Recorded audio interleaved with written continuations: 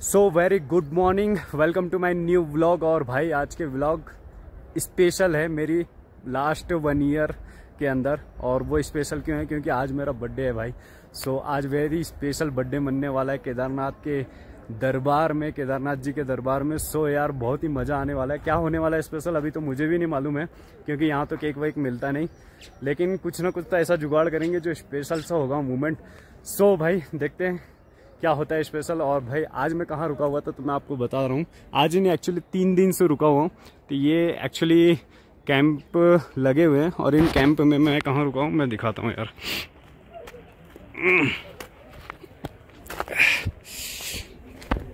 तो ये है भाई हमारा कैंप कुछ ऐसा। और सुबह सुबह कैंप में देखो क्या स्पेशल हो रहा है। पॉपकॉर्न भाई।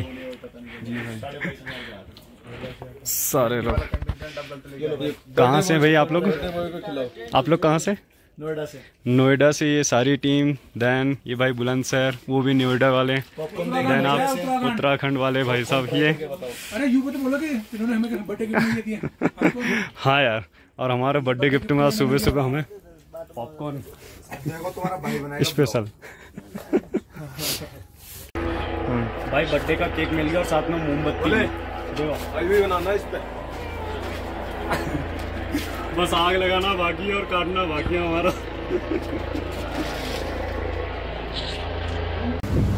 सो फाइनली भाई, नहाकर रेडी होके, तैयार होके और निकल चुके हैं मंदिर के लिए। मंदिर में करेंगे अब पूजा और उसके बाद आज सीधे निकल जाएँगे हम नीचे के लिए यार।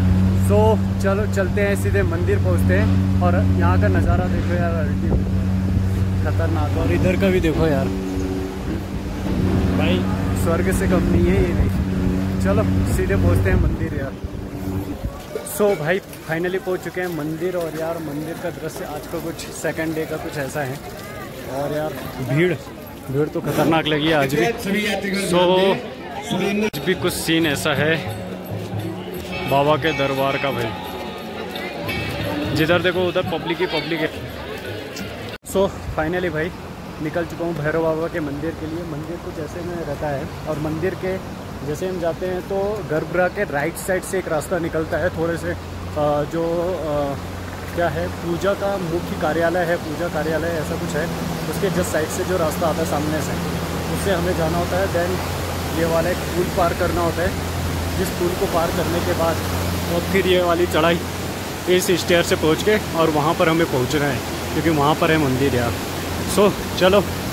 चलते हैं। सो फाइनली भैरव बाबा के मंदिर के लिए ट्रैकिंग स्टार्ट हो चुकी है। यार आइस वगैरह भी है तो इन आइस के बाद, वो देखो इंजॉय कैसे कर रहे हैं यार। सो यहाँ से हमको वहाँ चल के जाना है, लेकिन अभी फ़िलहाल में ना, में भी स्पीड ही बहुत ज़्यादा है। सो स्लिप वगैरह हो रहा है, जिसके कारण अगर इधर आओ तो अभी जूते वगैरह ठीक ठाक ही लेकर आना यार। सो बढ़ते हैं आगे।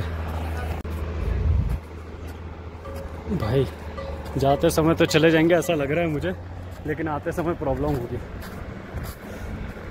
और यहाँ पर हो रहा है मेरा रिफ्लेक्शन वापस से क्योंकि आज निकली है धूप और धूप के कारण थोड़ा सा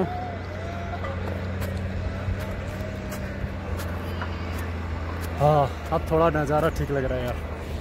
थोड़ा लाइट हो जाता है ना इसलिए। और इधर लोग अलग मज़े कर रहे हैं। फाइनली पहुँच चुका हूँ। आधा ट्रैक करके और आधा बचा हुआ है यार। कहाँ से आ रहा हूँ वहाँ पे? और महादेव जी बैठे ऑलरेडी वहाँ पर। खतरनाक और व्यू देखो यार। चलो, बढ़ते आगे। और फाइनली हो चुकी है कंप्लीट हमारी ट्रैकिंग और भाई ऑलरेडी कितने नीचे हम लोग, देख लो। और पहुँच चुके हैं मंदिर यार।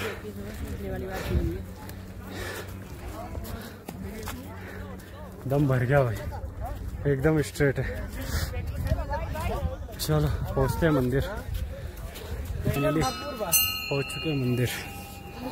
और मंदिर का नज़ारा कुछ ऐसा है भाई।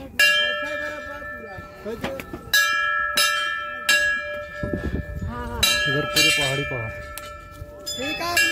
ओह ओह, ये आइस वाला पानी। इसमें चलना है, देखो।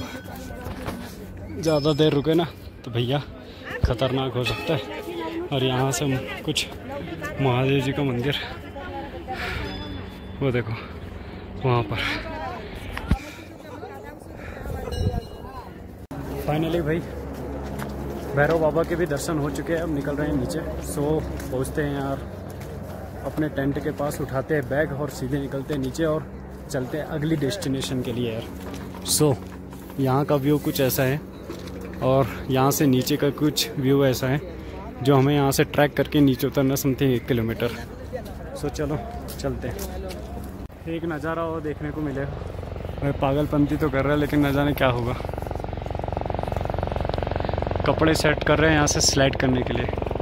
देखते हैं क्या स्पेशल करने वाले हैं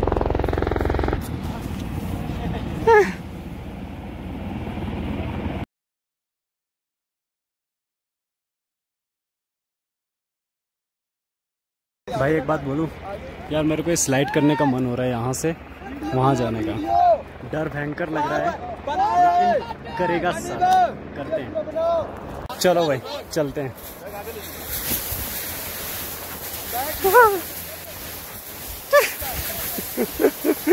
भाई, खतरनाक। चले यार।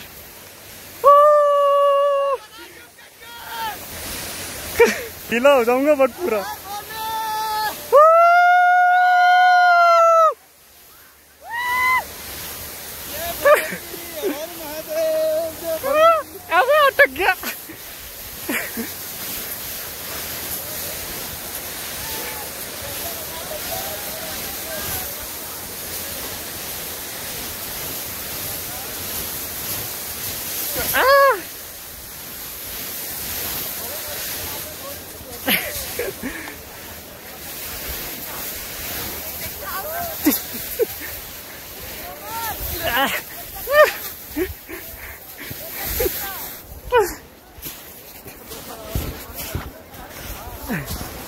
ओ भाई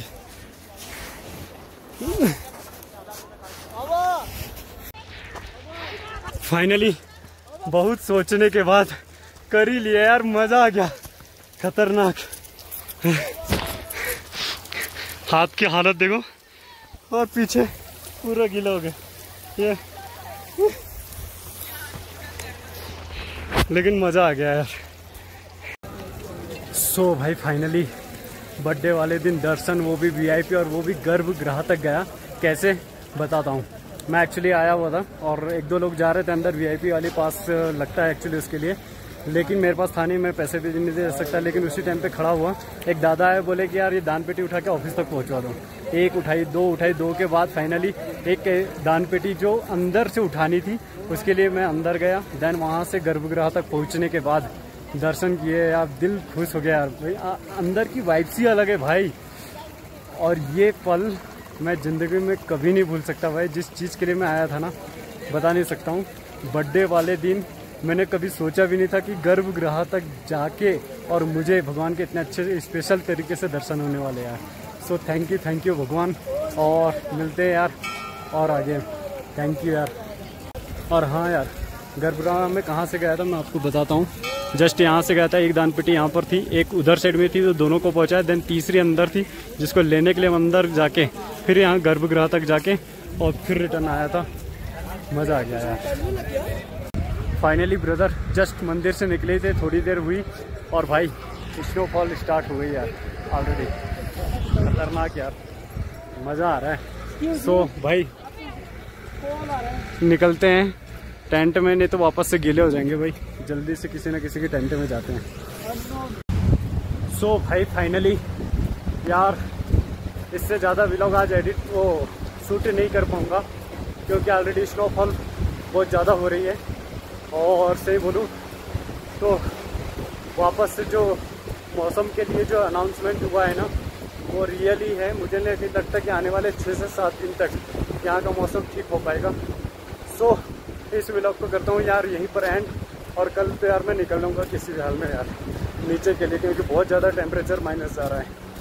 सो so, फाइनली इस व्लॉग को करता हूँ यहीं पर एंड मिलते हैं अगले ब्लॉग में। यार अगर आज, आज का ब्लॉग अगर अच्छा लगा हो तो लाइक ज़रूर करना और कमेंट में यार हर हर महादेव भर दो यार जितने भी देख रहे कम से कम एटलीस्ट एक बार तो यार हर हर महादेव लिख ही सकते हो। सो so, मिलते हैं अगले ब्लॉग में और नए हो तो सब्सक्राइब ज़रूर करना। सो मिलते हैं अगले ब्लॉग में जब तक के लिए बाय